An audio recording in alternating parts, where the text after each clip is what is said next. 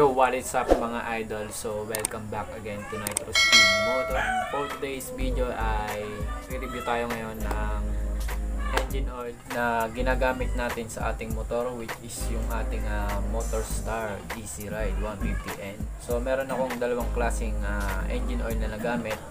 So, parehas namang maganda yung uh, performance ng uh, engine oil na ito and and meron talagang uh, isa na mas better sa dalawang engine oil na ginamit ko. And comfortable na comfortable yung engine natin dun sa dun sa the best na engine oil na yun mga idol. So itong video na to ay ginawa ko lamang para lang sa mga para makakuha ng idea kung ano bang dapat gamitin. And nasa inyo naman yun kung uh, anong gagamitin yung uh, engine oil. Ang akin lang, eh, nagsishare lang ako about sa mga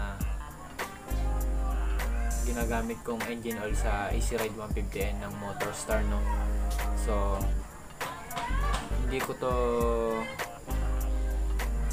disclaimer lang mga idol, no?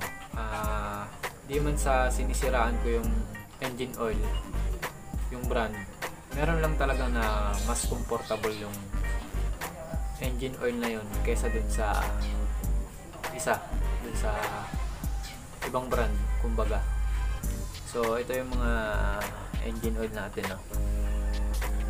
so ito yung engine oil na ginamit ko sa ating uh, Easy Ride 150N so ito yung Castrol Active scooter. 10W4080 and itong isa yung kilala na engine oil mga idol which is ito yung uh, speed tuner super oil. So isa sa dalawang to yung comfortable na nagamit ko at na-experience dun sa ating motor. Itong speed tuner uh, super oil 10 and 40 din synthetic nakalagay synthetic. Ito ay powered by uh, Mickey Maso ito naman ay Castrol na Castrol to so nandito sa likod ng engine oil na to yung specification and yung mga nagagawa ng uh, dito nakalagay yung nagagawa ng engine oil na to. So itong uh, speed tune speed tuner super oil eh, is walang nakalagay dito no? Walang nakalagay plain lang siya. Ito lang yung nilagay nilang uh, dito o yung kinapit na pagkakakilanlan. Yung speed tuner super oil lang no? Ay Mickey Maso so yun mga idol uh, dito muna tayo sa speed tuner oil no? Itong uh, speed tuner oil yung kulay niya pala is medyo uh, hindi parang kulay, nagkukulay itim-itim siya. Tapos may mga maliliit-liit na ano. Hindi ko alam tawag dun eh, mga idol. Kaya na lang mag-comment sa baba mga idol, no? Kung ano bang tawag dun sa classic oil na nakalagay dito sa speed tuner super oil. No? So, ang unang ginamit ko, ang unang ginamit ko, first time ko lang gumamit na ito, no? Within just one month, uh, maitim na yung ano niya maitim na yung nilalabas niyang kulay. Kasi one month ako nagpalit ng engine oil. Then nagtry naman ako dito mga idol no? and sa performance naman ng uh, speed tuner oil okay naman siya mga idol. Hindi naman masama na hindi naman nakakasama. Mas maganda pa nga yung gumamit ka ng speed tuner oil kasi yung block mo eh yung engine mo is malinis kasi itong speed tuner oil is nakakalinis to ng makina mga idol makina makina ang nililinis nito kahit gaano katagal mo gamitin tapos tinignan mo kung maitim na tapos buklatin mo yung block mo the best ang speed tuner oil? So, sa takbuhan naman mga idol, no? Solid pa rin ang uh, speed tuner oil mga idol, no? Wala pa rin uh, pinagbago simula nung ginamit ko hanggang mapalitan ko yung engine oil ko. Wala pa rin pagbabago. Kaso lang dito sa speed tuner oil yung yung aking motor ay nag backfire. So nagkaroon ng backfire yung aking ah, motor. Hindi ko lang hindi ko alam kung anong cause nun hindi ko naman sinasabing dito din dito yun sa hindi yun kagagawa ng ah, engine oil na ito no? So yun lang yung experience ko dito sa ano dito sa speed tuner super oil at hindi ko po ah, sinisiraan o kung ano man ang naiisip nyo. So the best pa rin to sa mga scooter no? lalo na sa mga sporty and max yung mga scooter na kilala so hindi lang siguro compatible dun sa motor natin sa motor star.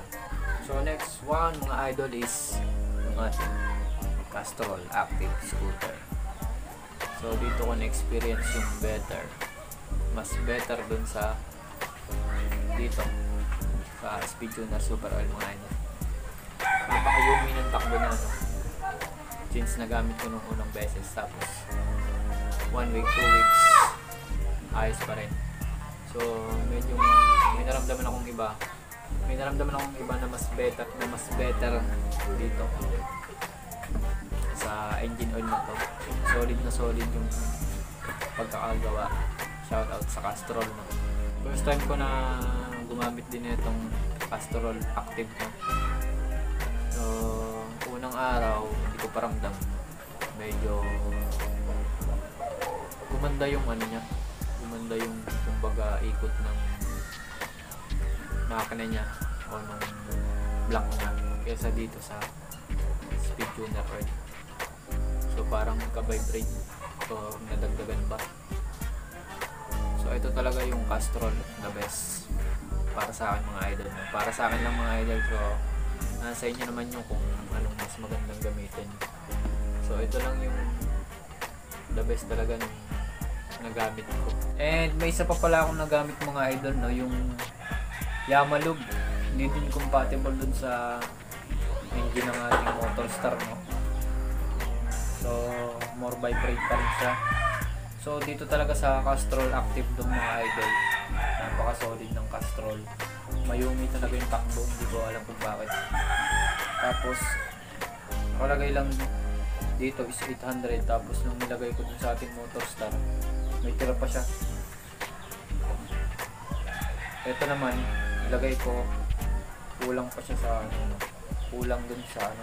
Ito talaga puno to puno na puno yung lalagyan ng langis natin no. ito may tira pa mga ano to. May 1 cup pa din itong natira. So maraming laman ng castrol. Itong castrol na to is nabili ko ng 216 lang compare dito sa 400 mga idol yung mga idol napaka solid ng castrol ng idol. And I recommend guys na ito yung gamitin nyo. Napaka solid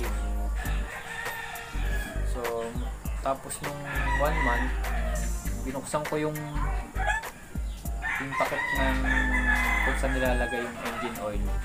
Binuksan ko halos malaki yung pinagkaiba ng ibang brand ng engine oil kaysa dito. Kasi nung sinilip ko maputi pa din siya.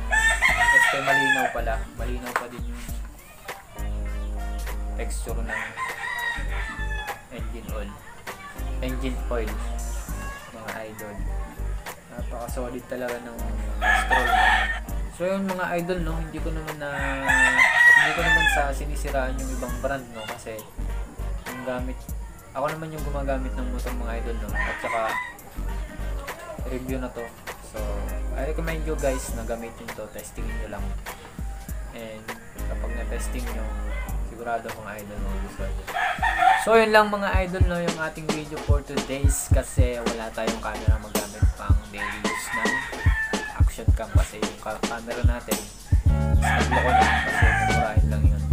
is for today's video mga idol. So I hope na nakatulong ang video na to.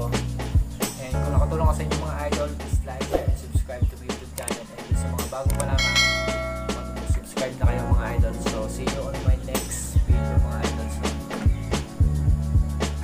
try nyo na mga idol. Castro lang. Sigurado panalo. So yun mga idol, see you